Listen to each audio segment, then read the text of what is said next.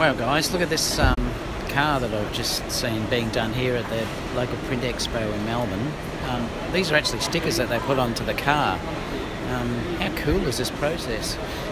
See over here that they're these are all it's automotive wrapping solutions. Um, it's a really cool process though, but these just stick on. Um, but it looks amazing. So I thought I'd just share this to let you know what is possible. Imagine driving this down the main street. Um, that is so cool. Um, there won't be a live broadcast today, guys. I'll be um, hopefully doing one tomorrow as I'm at this expo in Melbourne. Um, but I just wanted to check in and let you all see it. So, yeah, there you go.